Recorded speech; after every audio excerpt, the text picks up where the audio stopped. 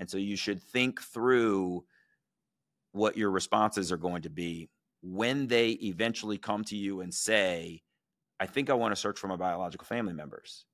Because while they may not say it to you out loud, they've probably thought about it. If they've come to you and said it, they've thought about it enough that they're probably going to do it, whether you are supportive or not.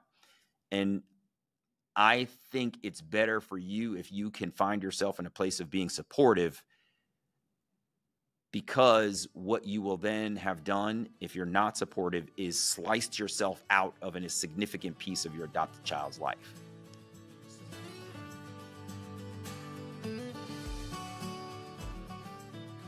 Your dream is to become a mom. My dream is to help you get there.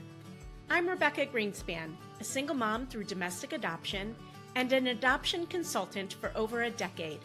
I'll be your guide, along with other adoption professionals and members of the adoption constellation, walking you step by step down this beautiful and complex path of adopting your baby. When I was going through the adoption process, I had no idea what I was doing, what I needed to know, or more importantly, who to trust. Well, after helping hundreds and hundreds of families grow through the beauty and complexity of adoption, I've learned more than a thing or two, and let me tell you, it's not always rainbows and butterflies. This isn't just another podcast sharing adoption stories, but it's for you if you're genuinely committed to diving in with an open heart, eager to learn everything there is to know about adopting a baby so that you can show up for yourself and your child in the best way possible. This podcast is for you if you're ready to put your newfound knowledge into action. Adoption isn't for the weak of heart, and it certainly isn't done when your baby gets placed in your arms. If that's what you think, I'm afraid you're living in la la land. My promise to you is to keep it real if you promise to keep digging. We'll acknowledge the hard and we'll also celebrate the joy that is adoption. You ready? Let's do this.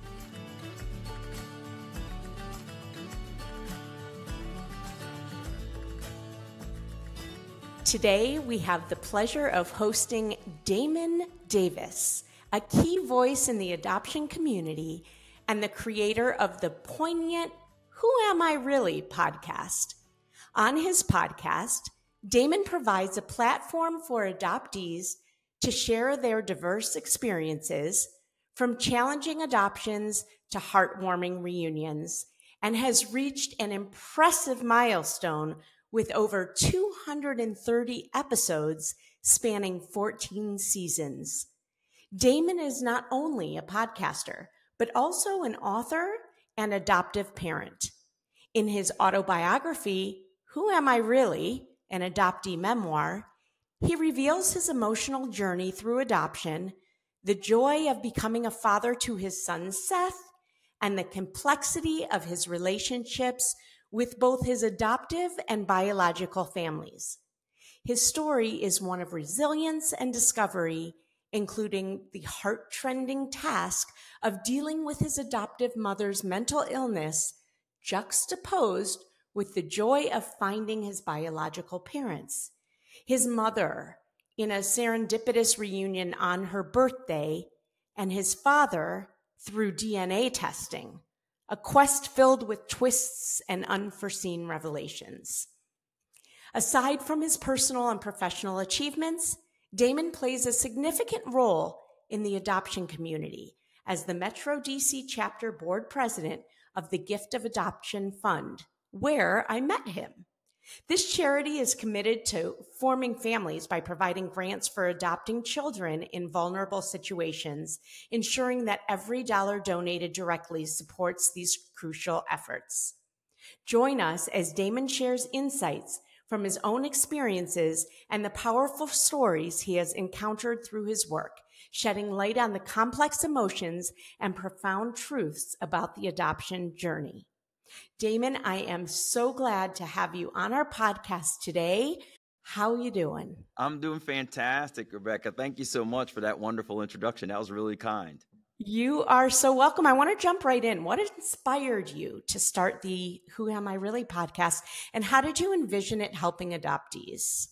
uh, it's a wonderful question. I'm glad you asked because I think it gets lost on folks why they start a show. I think it gets lost on the audience. And so what happened for me was I had gone on this adoption reunion journey and I started to have these amazing experiences telling my story to so many people in the public. I would talk to random folks on the street and I would talk to my colleagues and I would talk to, you know, family members and others.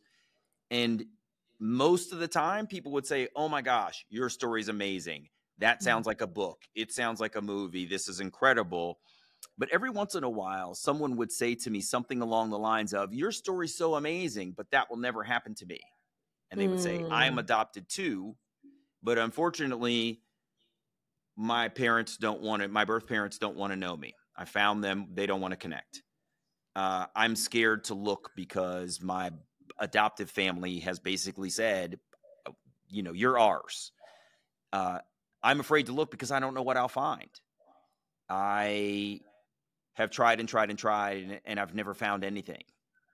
I've searched, and unfortunately, I found a grave.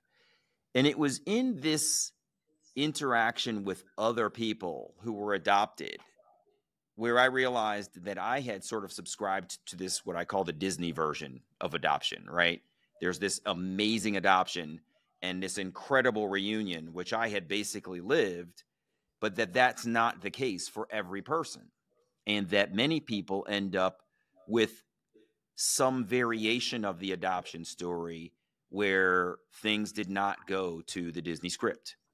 And so it was in that storytelling of my own that I realized everybody's got a story to tell and that we are if I was subscribing to that inappropriate version of what adoption is, than many other people were. And that it's the real stories of how adoptions actually unfold that need to come out. So I decided that I would take my time and try to talk to as many adopted people as possible just to learn more from myself but also to help to share some of those alternative narratives that most people aren't familiar with and it's been an amazing experience. I've I've spoken to, as you've said, over 230 adopted people, and I've learned so much about adoption, how humans treat each other, how amazing we can be towards one another, and how completely awful folks can be, and and an array of different life experiences therein. So the show has been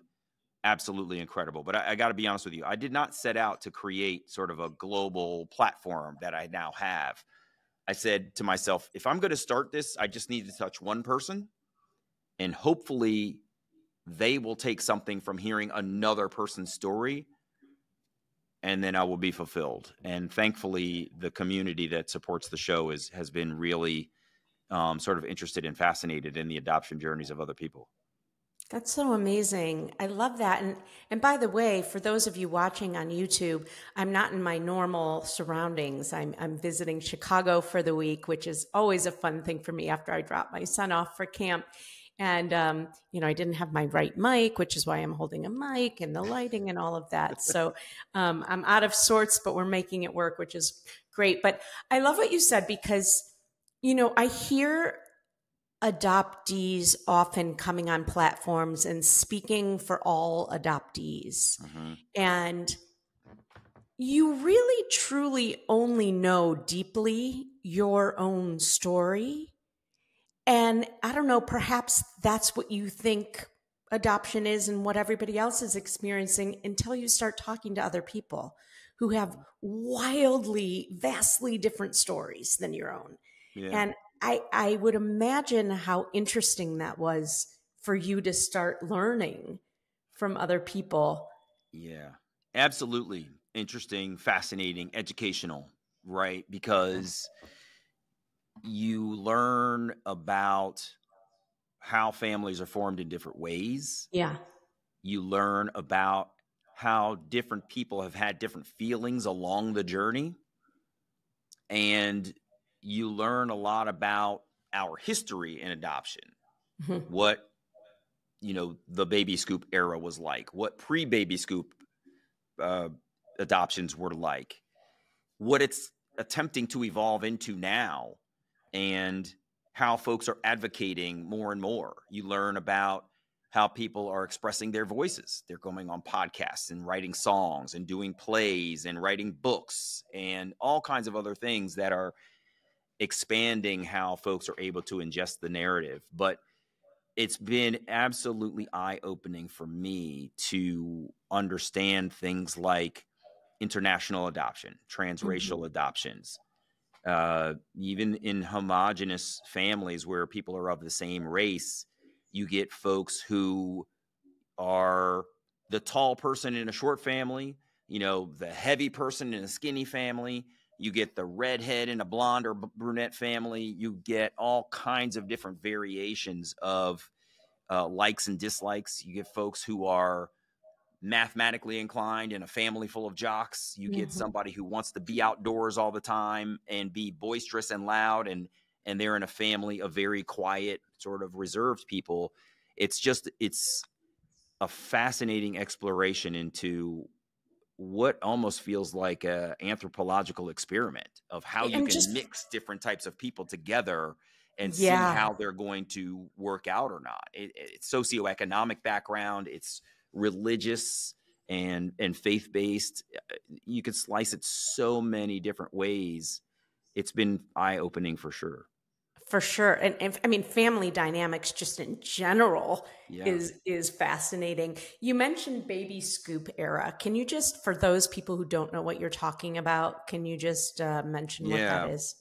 So there was an era in the United States that I believe, and don't quote my dates, but generally through sort of the 50s, 60s, early 70s, yeah, that was referred to as baby scoop era, which basically means that there was a almost extreme marketplace for adopted children that mm. there was this preconceived notion that a family would have you know 3.2 kids and a white picket fence and so there was a tremendous amount of pressure on young couples to have a child and unfortunately if you did not have a child you were perceived in a negative way by society and so people felt a lot of pressure to build a family mm-hmm. uh, but nobody wanted to talk about challenges with inability to conceive right? There are, we now know there are lots of fertility issues across America for a variety of reasons. My family,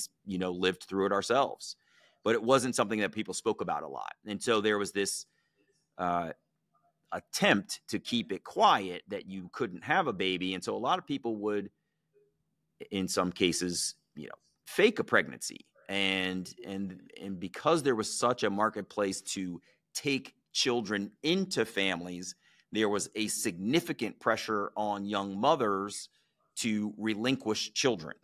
And so, in any marketplace where there's high demand, um, you need to create supply. And unfortunately, many children, I think, were commoditized as being part of this marketplace. And so, what ended up happening was what we now call this baby scoop era. There was a lot of you know this movement of children from one family structure to another through what I loosely call you know the adoption machinery that when a couple goes into a, a, social work office or some other entity that's going to assist with their adoption, uh, the engine turns on and they immediately go out and look for the commodity and and bring a child for that family to bring home. And there, I'll just say one more thing: there wasn't a lot of vetting and examination into a family at that time. I won't yeah. say that I know how much there is now, but I know there wasn't very much at that time. And that lent itself to uh, a lot of mismatches of children to families for a variety of reasons. There are a lot of horrifying stories for sure. Mm-hmm. Okay, back to your podcast, Who Am mm-hmm. I Really? In your experience hosting, what common themes or challenges have emerged among adoptees searching for their biological families? This is a great question because there are so many commonalities and there are so many incongruences across stories because we're all unique. Um, I think one, just generally from the show, a lot of adoptees feel or have felt alone until they have found community and they realize, holy crap, there's all these people out here talking about this. So, and that's one, what's called coming out of the fog, right? It can be, yes, but I, I tend to think of coming out of the fog in a variety of ways because it's not the same for every person, right? Okay. So just to stick with coming out of the fog, and then I'll get back to commonalities in a minute. Great. I've now come to think of coming out of the fog as being less of a moment in time and more of a process. Because I'll give myself as an example. I grew up with the, the knowledge that I was adopted. I've always known it since I was, eh, eh, for as long as I can remember. Therefore, I grew up knowing my status and accepting it and speaking publicly about it. However, I also, while I was perfectly well adjusted in my family, like I'm black, my mom was light skinned, I'm medium skinned, and my dad was dark skinned. We kind of looked like we could be family. Um, when I would go out with my dad, for example, people would say, Oh my God, you guys look just alike. But I'm in the back of my mind, I know I'm adopted and I know we don't look alike. So I would appease them and say, You're right. But I had these these constant reminders in society that I, I was adopted. I say all that to say it wasn't until my son was born, my first biological relative I had ever known in my entire life was born, that it hit me that I too was a branch on someone else's family tree, the way he was on mine, but I have no idea who those people are. And so, this is what I mean by coming out of the fog being a process. I knew from an early age that I was adopted. I accepted it, but would potentially get, for lack of better words, triggered or reminded throughout life. And so it was only until I reached that moment for me that I quote unquote came out of the fog, but it continued because when I eventually found my birth mother, I learned my what I have come to call chapter one of my story. I got that analogy from another guest who basically said adoptees grow up starting their story in chapter two, where we don't know what the history was that led to the moments that connected us to our adoptive family. So when I discovered my chapter one, that was a continuation of my process. So I think you see what I'm saying that life continues to give you additional nuggets about your adoption that helps the process along. And, yeah, and it, it can be different for different people. And it's interesting. I don't know that, you know, it's this term is used specifically in adoption, or that's the only the only place I've heard it. And yet I was talking to a friend of mine yesterday who lost a parent. And she said, that whole year, I don't remember. I don't know what I did.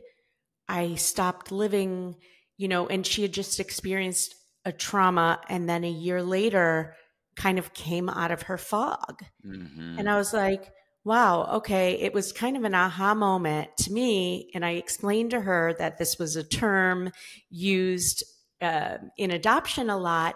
And yet it could also be you know it's very similar to what she experienced yeah. so i think I with agree. any kind of trauma you could have this coming out of the fog um, yeah. experience after after that time okay yeah. getting back to um, unexpected so insights or or themes or i'm sorry yeah, i think a couple of mm-hmm. themes that i've heard across adoptee stories are again one just this feeling of aloneness until you discover community yeah right? If I didn't tell, if you and I met at a, you know, at a work meeting or at a, a party and we just talked and I never told you I was adopted, you'd never know. And, and, and I'm sure that as we traverse our lives, multiple adopted people have connected with each other and don't even know it. Yes. So there's that, that piece, which is, um, it can feel very solitary and that can be challenging for folks who are, are in need of some kind of connection so as to uh, start to heal from the things that they've been feeling. Mm-hmm. Another commonality is this question I've had it said more than once. I'm not just plugging my show. I've literally had people say more than once. I asked this question of myself, who am I really? When I realized what adoption meant to me. And while it is a validation of the title of the show and, and why I came up with it, um, it speaks to the notion that a lot of people who are adopted have not necessarily had an opportunity to fully explore who they are and realize it because they've been transplanted from one family to another and and basically given an alternate identity. And it it can be challenging for folks to overcome that alternate identity piece. They want to know what was my birth name? What what might i have become had i stayed in the family where i was born um, so there's that piece of just quite literally who am I really being a question that folks ask.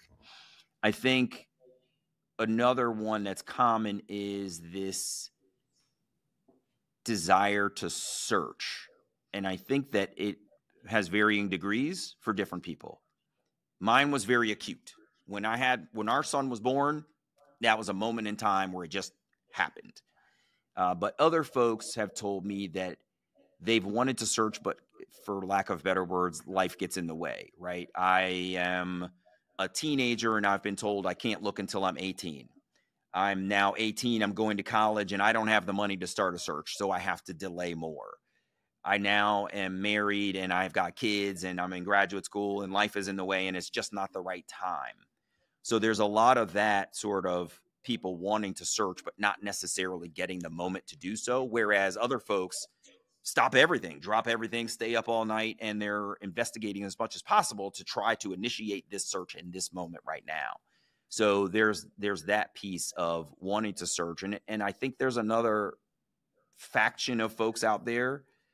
These are guests that I will never have on the show because they're not ready to talk about this yet. Mm-hmm. They haven't explored it. They push it down it's not something that you can have an, an open conversation with some adoptees about because they're just not there.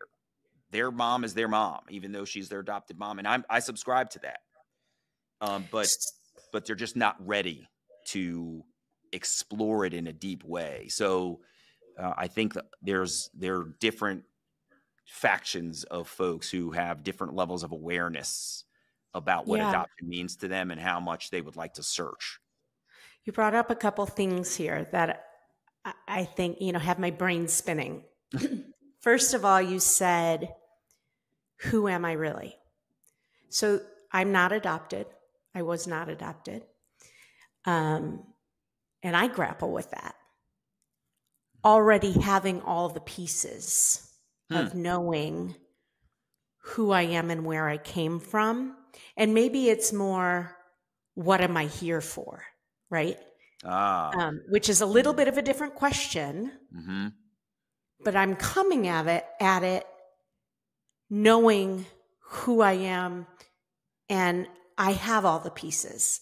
Yeah. And I'm imagining now grappling with that question, not even knowing those basic things really.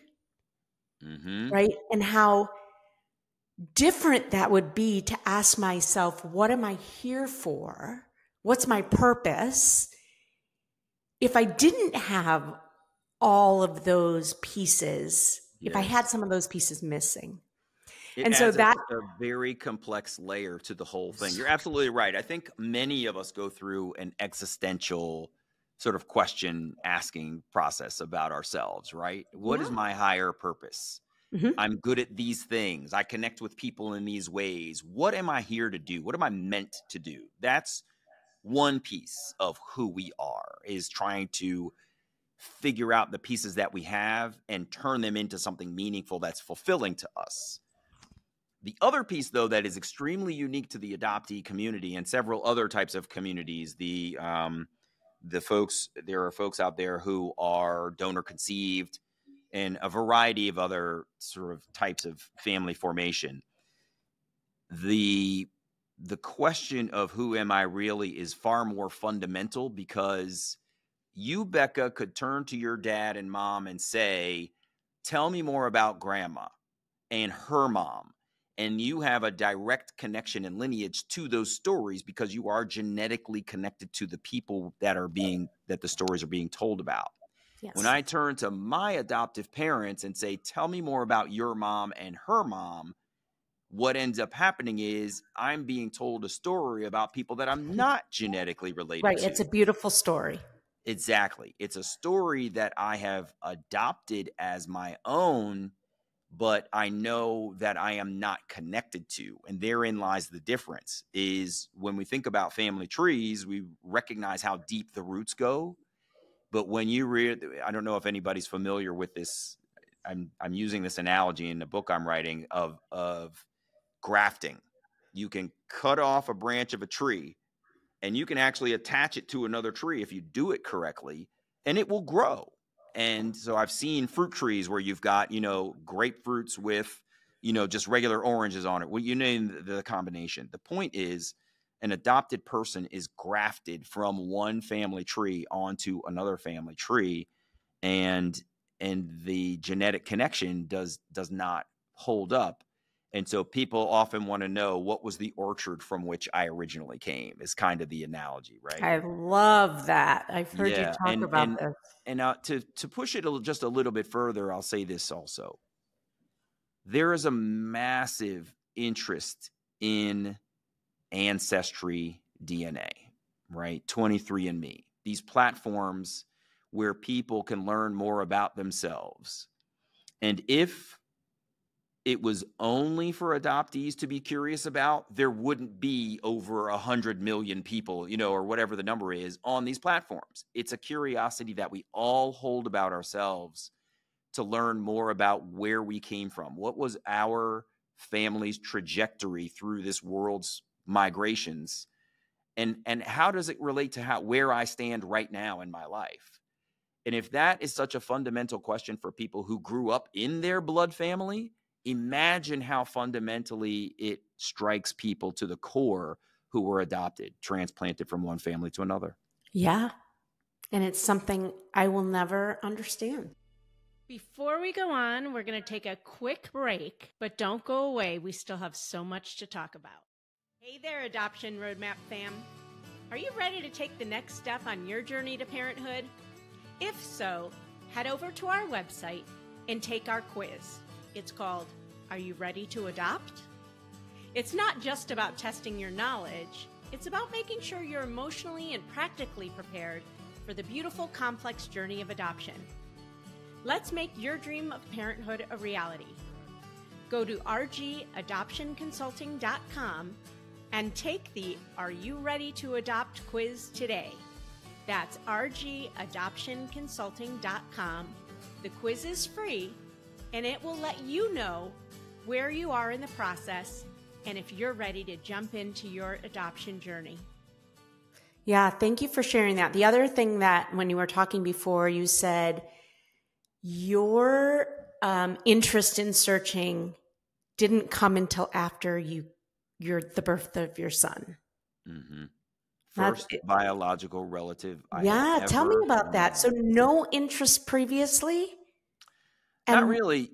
And, and why? Why then? yeah, sure. Great question. I, I'll go back to something that I said previously, which is the notion that my adoptive mom was my mom, right? Mom is a job, it's a role, it's, and if the person, my birth mother, while I loved her, Anne was amazing, she was not there when my nose was running, when I skinned my knee, when I had to go to soccer practice, when I was screwing up in school, right? My mom did the job. And that I think is incredibly important. And I'm not subtracting anything from what we also we call them birth mothers and first mothers because you can't get to this earth without having had that first mother. She did a role. She chose to carry a child to term and deliver that child. Her second choice in that chain then was Am I going to be the parent of this child or is someone else going to be the parent of this child? And it was that second choice that placed me with my adoptive family. So they each had two different roles. My mom was fantastic. Veronica was an incredible person and and I loved her dearly, but I think it's important to think through what the role of mom and dad are as the person who do people who do the job and there's a separate set of parents who are the ones who contributed to your life being here on the plane. I'm not sure if I answered your question, but that's kind of yeah, of no, you did, you did, and I just I I always find it very interesting what sparks somebody's search if it if it was something that they always from the time that they were old enough to even understand that they could versus is Yeah. not.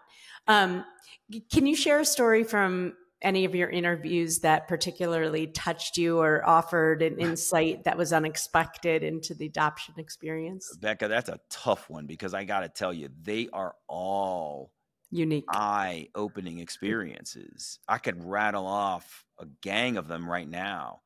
One of the first ones that comes to mind for me for some reason is a woman named Tezeta who was adopted out of an African country. I want to say it was Ethiopia. And I think the reason her strikes me so much is because of how much she endured as an Mm. individual. So she was brought, she was born in an African village black folks all around her, never seen a white person her entire life. Unfortunately, she was placed into an orphanage, at which time she was brought to the United States to be adopted by white people in California. Unfortunately, these people were unkind to her, and they, you know, so there's a language barrier, there's a color differential. She told me on the show, I literally thought these people were witches because I'd never seen white people before. Right. The- but this is the culture that she came from. If you're not exposed to something, then you're you're ignorant to it, and therefore it, it could scare you.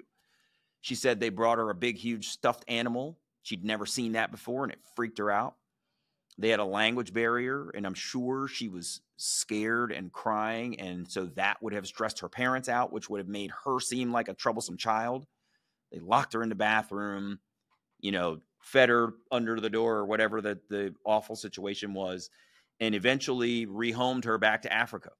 Uh, but one of her adopted sisters grew up, always remembered her sister, and went and found her in Ethiopia and reconnected with her and helped her return to the United States. I mean, it was just an unbelievable story of an individual's resilience to you know try to make it in this world given the circumstances she was put through. But i've heard other amazing stories that i i mean it, my brain is struggling because there's so many. I've heard people say things like i always had an interest in motorcycles and i was walking down the street one day and i saw a motorcycle jacket in the window and i had to buy it. And i had no idea why. I don't even own a motorcycle but i just had to have it. And she found out later that her father was totally into motorcycles. I've heard the same thing about horses. I've a heard woman this told me so that she had many an times. unbelievable connection to i believe it was the city of rome and the, the, the country of italy. And she did not grow up thinking she was of italian descent and found out that she was i talked to a guy recently who was a police officer for many many years and when he found his biological father the gentleman was in prison and so here you are a cop and your dad is a criminal but and so he went to visit his father in prison. It was a huge, I want to say it was a maximum security prison, but I'm not sure in Louisiana. And he said he went into this meeting thinking to himself, I'm going to take this slow because I don't even think I want to know this guy, right? I'm a cop. He's a criminal. We're not cut from the same cloth. And so he went in with his guard up, but he realized after speaking with him, seeing sort of his relation to this gentleman that that's his dad. And so he ended up being part of the parole process to get his father out of prison. And he was there on the day his dad walked out of jail, and his dad got his first hug as a free man from his own biological son. So, this is why I'm telling you, it's so hard to just bring one story. Oh, I have chills. They're so fast. I mean, Yeah, they're fascinating. every time I sit there and I'm interviewing someone and I think to myself, oh, I know where this is going, it's like they're driving down the road and they yank the steering wheel and we just go off roading all this. I mean, it's just bananas. And talk about common themes. For me, I hear that kind of stuff all the time also from people who are like, I just talked to a client and they found out they had other sisters and that they had never met and somebody placed somebody anyways and and they were like exactly the same person yeah they they both adopted children they both had the same they lived two blocks from each other you know mm-hmm. all this stuff that's so in your nature, right? The whole nature versus nurture and in genetics and in biology is huge. It's huge. so fascinating. Right. Um, were you all always comfortable sharing your story publicly or were there times that you felt uncomfortable with with parts of your story? I always felt comfortable with it. And I think that's because I grew up with the knowledge. My parents were comfortable talking about it and it, it was just part of me. So I think there's a huge difference where for anybody who's not adopted, one of the challenges can be something we call late discovery adoptees. So this is a person who was adopted but did not grow up with the knowledge and suddenly there's a moment when they figure out or are told or it is revealed that they are adopted. And I've had several of those on the show too one guest told me that he was at a birthday party for a family member, and this little old lady, one of his little aunts, sort of leaned over to him and said, I remember when they adopted you. And he was like, What? This moment of being at this birthday party turned into this life altering revelation there's other people who have said I, there was a, young, a woman I spoke to recently. She said she was just at home one day. Was Saturday morning. She's watching Soul Train, and her parents came in and said um, that they wanted to tell her something. And they revealed to her she's like seven, maybe 10 years old, that she's adopted. That's a late discovery adoptee, too, in my mind, right? Because you're not talking about it early enough. I'm, I'm able to make the leap in my mind. Wait, you're telling me you're not my parents' parents? And so there's other folks who are late discovery adoptees who come along and and unfortunately they will the revelation will happen at a time when a parent has passed. And so there's they end up learning and now they don't get to ask any of the questions that they would have liked to have if their parent was alive. How come you never told me? Why did you adopt me? Do you know who my parents are? Any tell me where I can find information all of that is completely wiped away and they have to go to secondary sources of information aunts uncles searches online etc it's really tough. So i say all that to say i was really lucky because i was introduced to adoption and, and made comfortable with it both by the early onset of the information and the level of comfort that my parents acknowledged our family formation with. If they had been kind of weird about it when someone asked about it, then I would have been kind of weird about it too. You know what I mean? I would have taken the signal from them. 100%. Uh, but I was perfectly fine. I love that you brought this up. And I think it's really important for hopeful adoptive and newly adoptive parents to really hear. Um, one of the things we talk about post adoption, we usually have kind of a wrap up with our with our um, families, even though that's just the start of a new adventure. And we mm-hmm. say to them, start telling your child their story today, day one. You are going to fumble. There are going to be triggers in you when you use certain words. You know, think about the questions that people are going to ask you. How do you want to respond? Yes. All of those things now. And look, I really, hopeful adoptive parents, I really want you to hear what Damon just said that the reason he's been comfortable with his own story is because his parents were. Mm-hmm. They were comfortable with it, or they talked about the pieces that weren't. And by doing that from day one, you really set the stage for for how your child's going to feel about their own story. I'm wondering, Damon, was there, I know you wrote an autobiography also mm-hmm. called Who Am I Really? An adoptee memoir. We will link to all these things in the show notes. Was there any, or what was the most challenging part of writing that autobiography? Because I know I, I know there was at least some. Absolutely. you know, it's a real life story and it yeah. had multiple, multiple ups and downs. So I'll tell you some of the story just to give you some highlights so that you can see how challenging it was. It, we've already talked about the birth of my son. We haven't talked about the fact that I'm an adoptive parent myself. So we adopted my niece and nephew on my wife's side of the family. And to make a long story brief, that was very challenging. We adopted them at nine years old each. So they had already had a set of life experiences before they joined our family.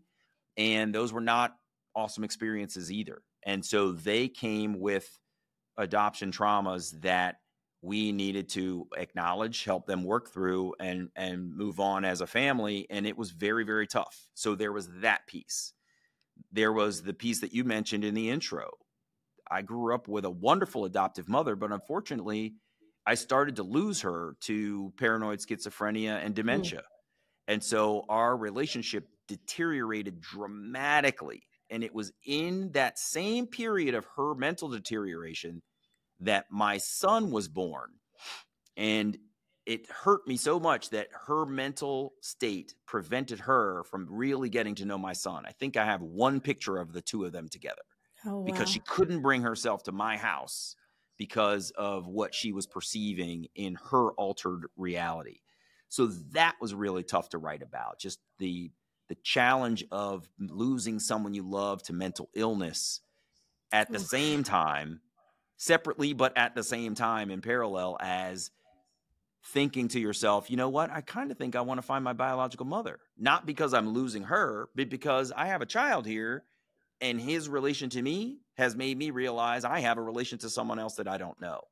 That was hard. Uh, the piece about our own infertil- infertility, right? I, talked about it before. It's a t- topic that is not very openly discussed. It was driving part of the baby scoop era back in the day, but that's a very personal thing about our family that I revealed in in my book. And but I, I chose to do it because it's a hard topic to discuss, and mm people need to recognize they're not the only ones going through this, and and just hear how someone else managed it, survived it, um, whatever another huge piece that was hard for me was you know my adoptive father died he was you know a hero for me and he was just this wonderful character not just for me but for hundreds of other people who just loved this guy and it was not long after his death that I was writing this book. And there were days when I would sit down to the computer, I couldn't even see the screen. I was in tears. Right. But so you just go to another part of your story and you come back eventually to when you think you can handle it. Um, but it was, it's also hard because it's a hard, long process, right? It's not a sprint. You don't just sit down over a weekend and like throw together your book. You really have to think through what's my message? What am I trying to tell? What do I want people to know? And what do I not necessarily think needs to be included? So some of the self editing is also challenging, but the hard human stories are, were the big piece. So, some of those parts of your story, it was the first time that you were sharing them. No, I'm a pretty open person. Okay.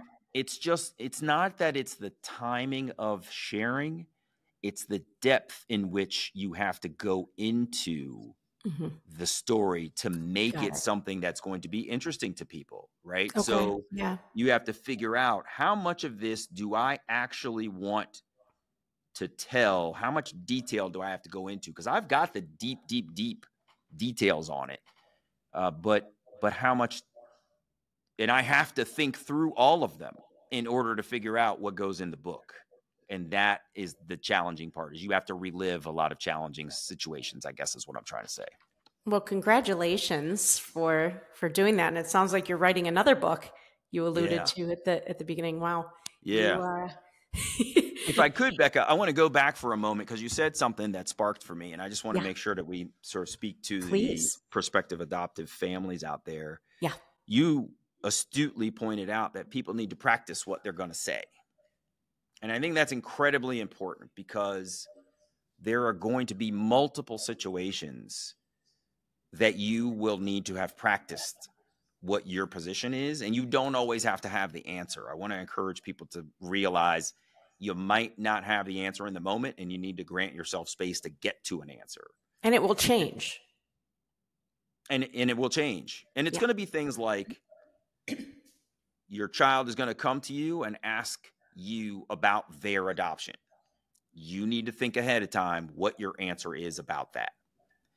There's going to be a time when someone in public is going to ask about you and your child's adoption, and you should have a predetermined answer there because you want to be able to rattle it off relatively quickly with ease and comfort and feel confident and be able to quickly turn and, and acknowledge your child's feelings and comfort them and just see where they are based on what was happening. And if you read that they weren't really impacted, great. You don't need to make a big deal of it in the moment, but you should definitely take a moment to give them an eye and see how are they doing and acknowledge too for yourself that that situation might come up later. Yeah. What happens with kids is they don't have the language for their curiosity in the moment and they don't necessarily feel empowered to speak up.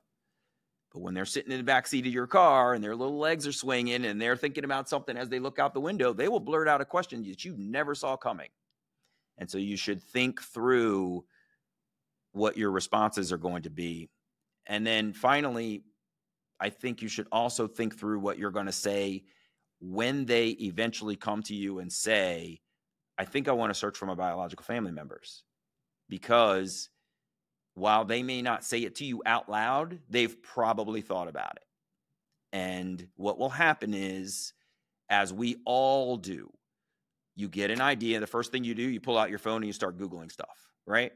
I wonder how many stars are in the sky. Let me go to Google. I wonder where my birth mom is. Let me go to Google, right? And so you need to think about the day when your child, your teenager, your adult child comes to you and says, Hey, could I talk to you about this? Or, Hey, I need my adoption record or whatever it is. And this is the part that I think you need to allow yourself to to grant yourself some space because it could be hard if you haven't prepared yourself. And you could just it's okay to say to them, I thought you might ask about this one day do you mind? Can you give me a day to just think about this and then I'll, I'll come back to you tomorrow or I'll come, give me an hour and I'll, I'll come back to you on this. It's okay to not necessarily feel okay in the moment. But I think you do have to acknowledge it and and be part of it because if you don't adoptive parent what will happen is that adoptee is going to go ahead without you because they're doing it if they've come to you and said it they've thought about it enough that they're probably going to do it whether you are supportive or not.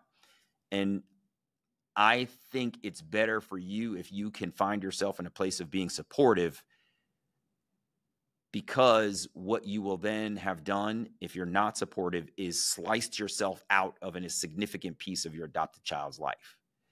So mm. I'll pause right there, but I just I really want to encourage so people to think about the hard stuff ahead of time. Yes. This is like you know, buying insurance. You never know when something's going to go wrong, but you'll be glad that you were prepared ahead of time. Mm. So, so good. And one of the reasons why I say it changes is it depends on the age of your child, too. So, and you also when you're caught off guard, for instance, by other people, you have to decide is this an educational moment? Is this a I want to fuck with you a little bit moment yeah. and have some fun? Right. Or is this a moment where, okay, my child's old enough, my answer is really going to count? I remember my child's Mexican and I'm white.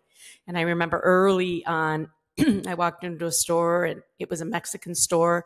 And the guy behind the counter looked at me, looked at my son, looked at me, and said, Is your husband Mexican? And I'm like, no. Mm-hmm.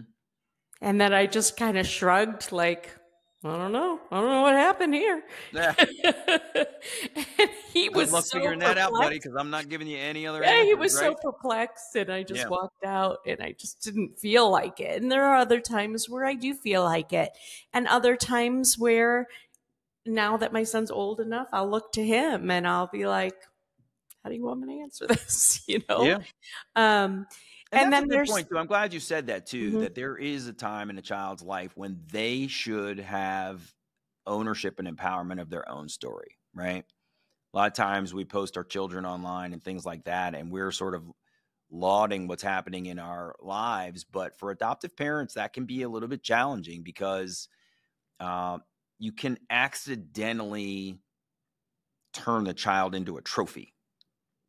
And that's a hard th- I'm not saying don't post. I'm not saying that. What I am saying is be thoughtful about how and how much you talk about the adoption because there are days when you just don't want to be adopted as a person, right? It's not that you don't want to, it's just like like that's not the first thing on my mind. So let me translate that into a different situation. If, and I'm not, but if I was a cancer patient, I wouldn't necessarily want to talk about cancer all the time. Sometimes I would just want to be a regular guy, right? But if you're constantly talking to me about my cancer, then I will never be able to think about anything else. And so I translate that to the adoption situation where if you're online sort of constantly posting photos and saying how glad you are to have an adoptee and all this, whatever it is, like just don't overdo it because the kid just wants to be a kid, is kind of what I'm saying. They ultimately just want to have family, they want to have guidance, they just want to fit in. And if you're constantly saying, you came to my family through an alternative means, you're going to accidentally alienate them in ways that you didn't even calculate. So just be a family. You don't have to overload the thing.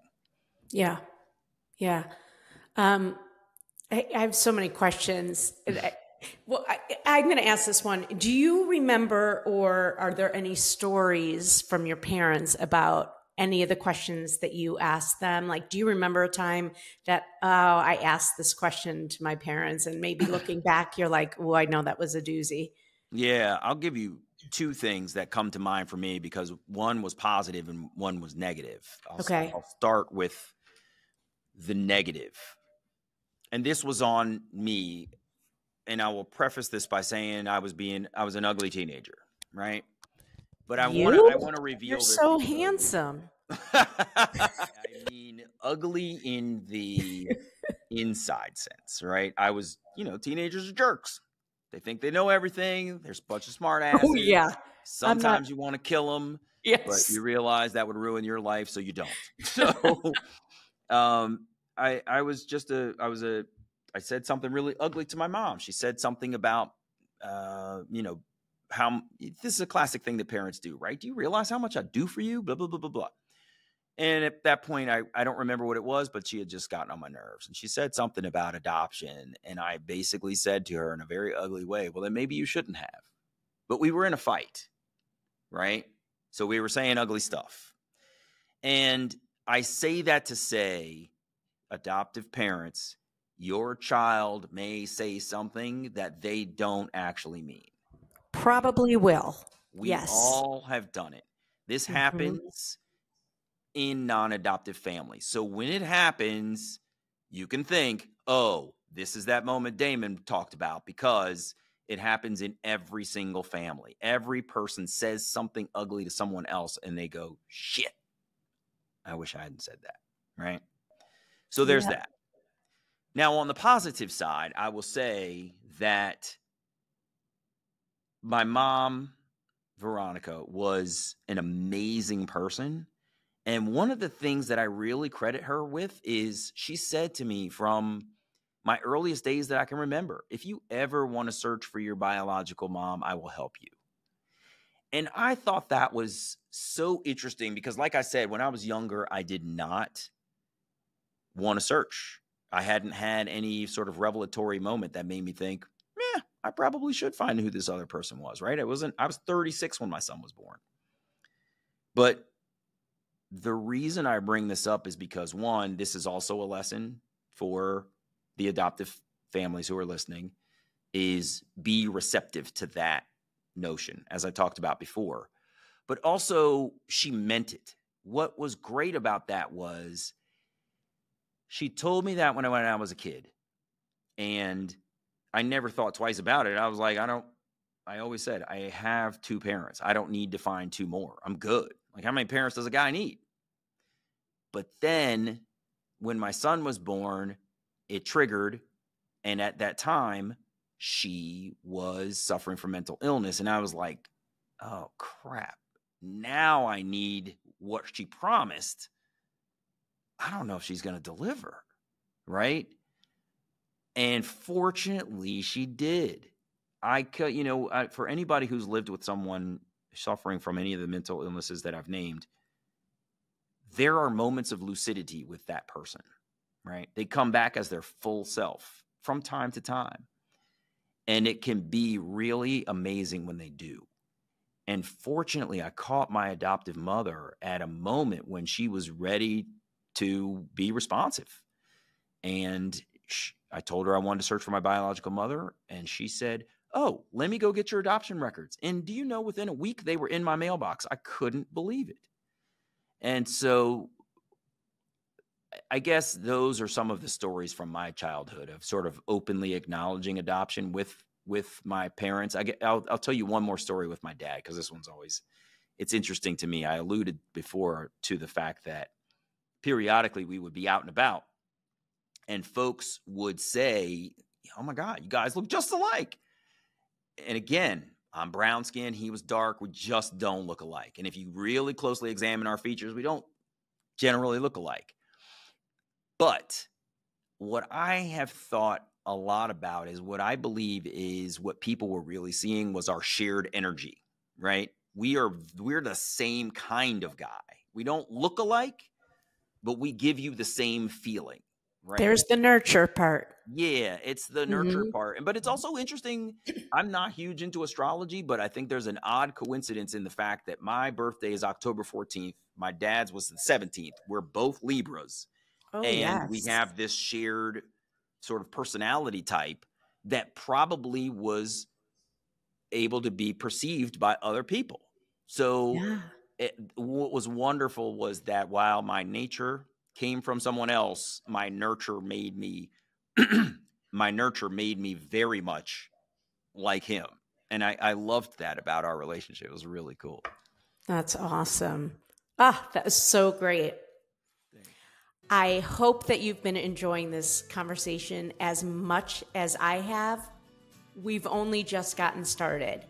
Stay tuned for the part two episode in my conversation with Damon as we dive into mental health and parenting and what he sees coming up for his podcast.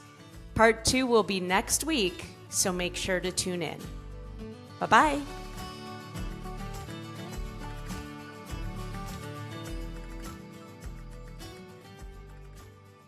Well, I hope you enjoyed that episode of the Adoption Roadmap podcast.